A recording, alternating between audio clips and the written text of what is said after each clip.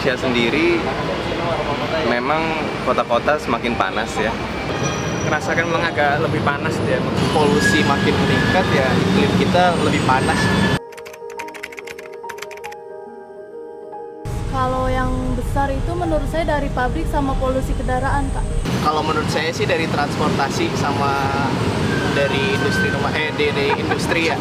Dan lebih banyak dari kendaraan bermotor. Kendaraan bermotor sih kayaknya.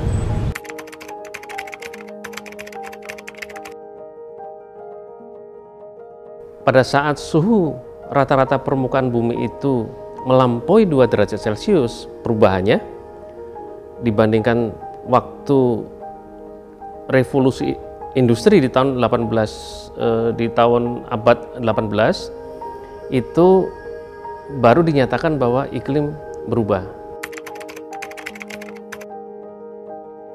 Beberapa data menunjukkan bahwa di Indonesia sudah naik suhunya ya antara 0,5 sampai uh, 1 derajat Celcius sudah terjadi. Kemudian dari sisi apa upaya reduksi emisi atau mitigasi itu kita uh, emisi nasional sampai tahun 2017 itu kita mengalami kondisi yang fluktuatif karena faktor kebakaran hutan.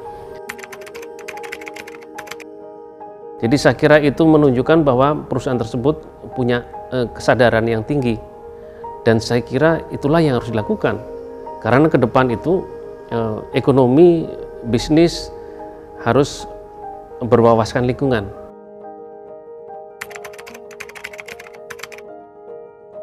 Uh, pertama untuk saya sendiri saya nggak merokok dan nggak menggunakan transportasi pribadi. Saya menggunakan transportasi umum selama saya bekerja dan kuliah.